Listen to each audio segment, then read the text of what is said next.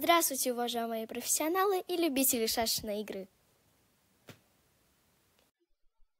Сегодня мы с вами поговорим о ловушках, когда их ставить выгодно и когда невыгодно. Ну, простейший пример. Отказанная игра Петрова. Белые могут разменяться таким образом, развить отсталую шашку. Черные также подтягивают отсталую шашку. Вот первая ловушка, нельзя играть за черных gf6. Эта ловушка естественная и она хорошая. Многие начинающие шашисты в нее попадают. Поставьте видео на паузу и попытайтесь найти выигрыш за белых. Отдаем три шашки.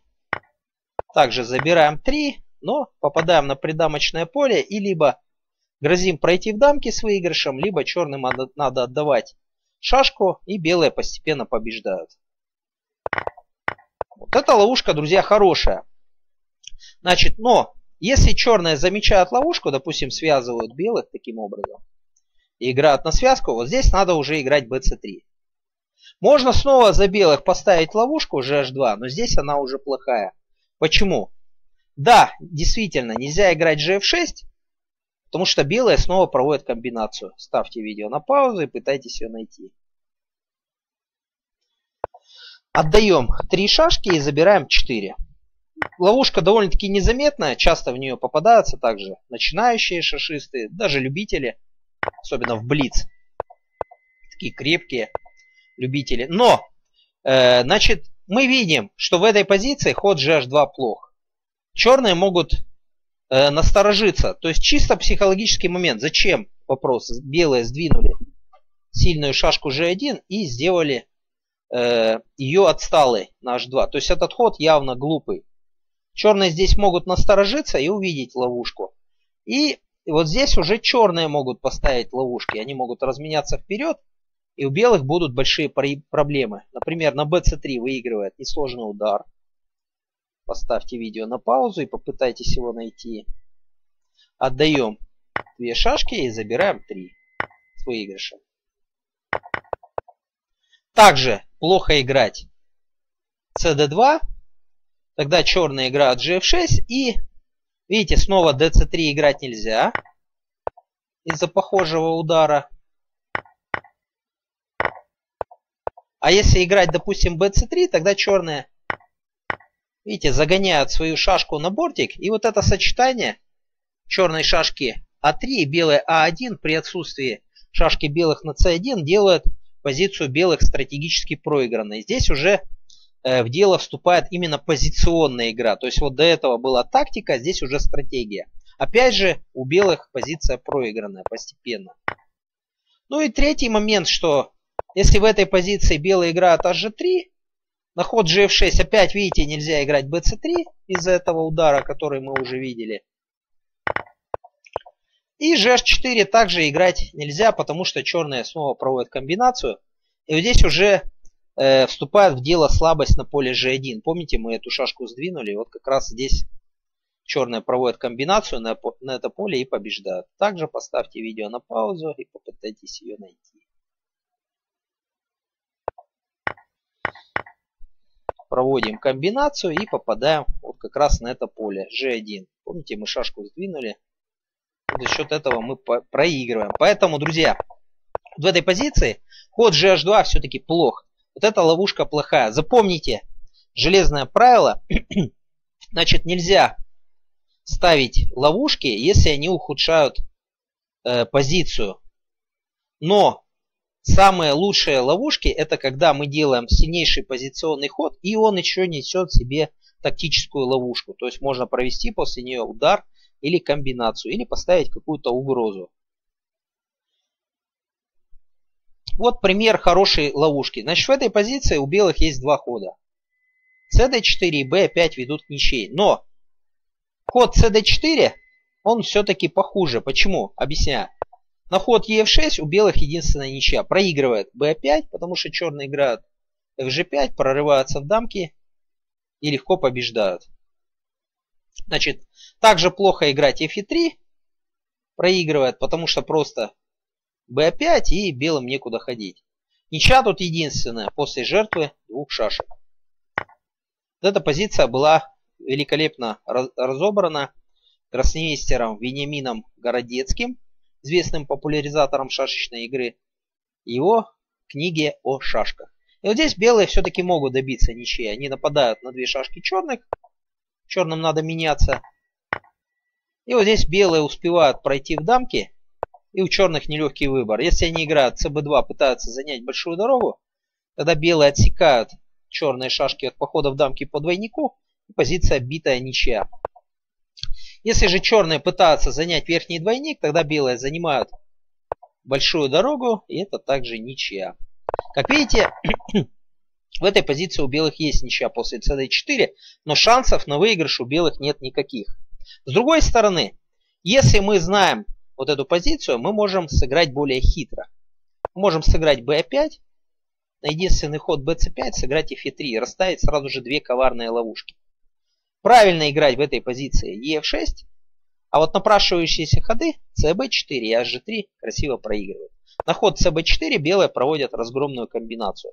Поставьте видео на паузу и попытайтесь ее найти. Белые отдают 4 шашки, проводят удар, и в конце возникает оппозиция одна на одну. Очень красиво. Вторая ловушка. На ход hg3, напрашивающийся ход на самом деле. То есть, видите, ловушка белых, она естественная. Черным хочется напасть на шашку, ну, кажется, что белым остается только сдаться. Сейчас они потеряют шашку f4 и проиграют. На самом деле здесь выигрывают белые. Попробуйте найти выигрыш. Играем АБ6. Неожиданный ход. То есть здесь выигрывает присоска, или как я ее называю, пиявка. И черным некуда бить. Сюда бить нельзя, потому что белые попадают в дамки таким образом.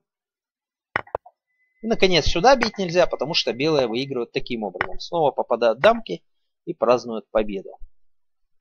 Как видите, ловушки классные, хорошие.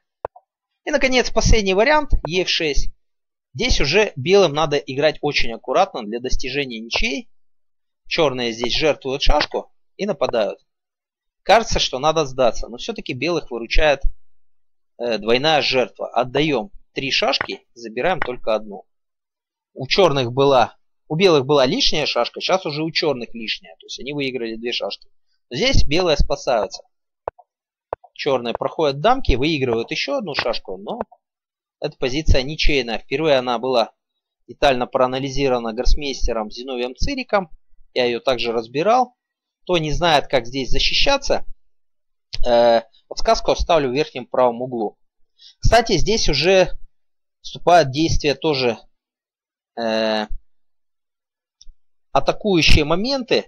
То есть э, запомните, сильнейшие игроки, гроссмейстеры, мастера, они именно отлично знают вот э, какие-то простые окончания стандартные. И вот за счет этих знаний они могут ничейную позицию выиграть. Ну и соответственно, если они э, получат выигранное окончание, они уже с вас не слезут, они все равно вас додавят. То есть вот э, всем рекомендую также изучать эндшпиль что в шахматах, что в шашках. Это очень важно. Кто ошибается в эншпиле, тот, как правило, проигрывает партию. Теперь рассмотрим пример очень красивой и классной ловушки. Дебют, новое начало. У белых преимущество. Можно играть cd4, можно аб2. Черные играют на охват, белые занимают центр. И вот в этой позиции в теории рекомендуется играть bc3. Ход gf4 считается слабым. Здесь есть классная ловушка. Из партии Медведев-Потурский 1988 года. Эту ловушку взял из э, книги «Мои избранные партии» гроссмейстера Маркиела Фазылова.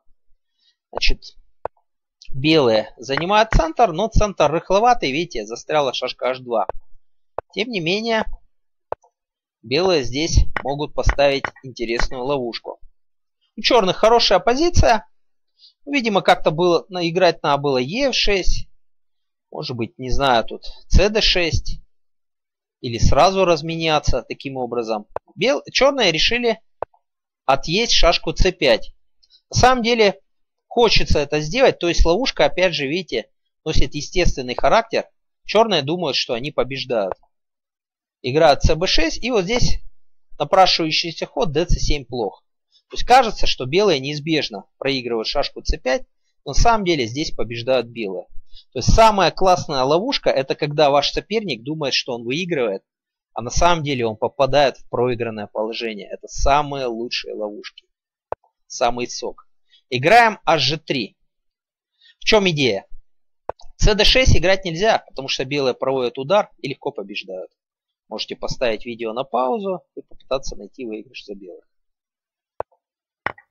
Отдаем три шашки, забираем три, но попадаем на придамочное поле и легко выигрываем. Черные увидели этот ход и сыграли hg5. Еще надеясь на ничью. Но белые нападают, приходится закрываться и проводят красивый удар. d5. Приходится бить в эту сторону. Но после всех разменов у белых красивый этюдный выигрыш. Черные нападают, единственный ход отходим. Надо меняться. Играем cd2. То есть сюда уже нельзя играть из-за размена. Также проигрывает ход cb4 из-за размена и будет оппозиция 2 на 2. Приходится играть аб6, единственный ход. Тогда dc3. b5, cd2, cb4, cd4, b3, dc3. Черные надеются на ничью. Позиция кажется ничейной. Здесь выигрывает известная этюдная идея. Когда черные уже вот-вот готовы пройти в дамки, следует наказание. Удар пяткой. Красивая жертва двух шашек и выигрыш. Ну и последняя ловушка на сегодня.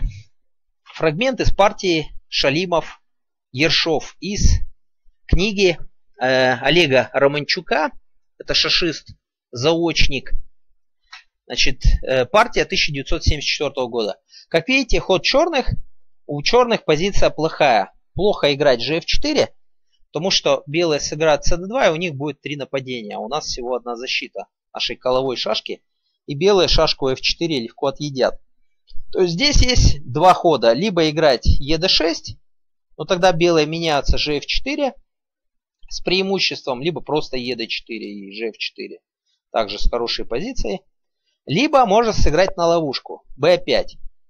Значит, в чем идея? Белым в этой позиции надо было меняться gf4 и играть на связку. Видите? Связка все-таки неудачная за черных. Либо просто меняться 2 на 2. Ну и возникала примерно равная позиция. А белые решили здесь блеснуть комбинацией. Они провели вот такой красивый удар. Удар называется стрела. Видите, удар по прямой. Но здесь черные нашли красивый выигрыш. Можете поставить видео на паузу и попытаться его найти. Черные красиво отдают две шашки и белым некуда бить. Если они бьют на поле h8, тогда выигрывает прием запирания. Ну или в простонародье туалет. Черная дамка остается в зап... Э, белая дамка остается в заперти и черная красиво выигрывает. Если в этой позиции белые били дамкой на поле g7, тогда выигрывает простой размен и черные снова побеждают. Если вам понравилось данное видео, не забывайте поддержать мое творчество лайком и подпиской. Друзья, сейчас как никогда важна ваша поддержка, хотя бы моральная. До свидания и давайте воевать только на шахматной и шашечной досках.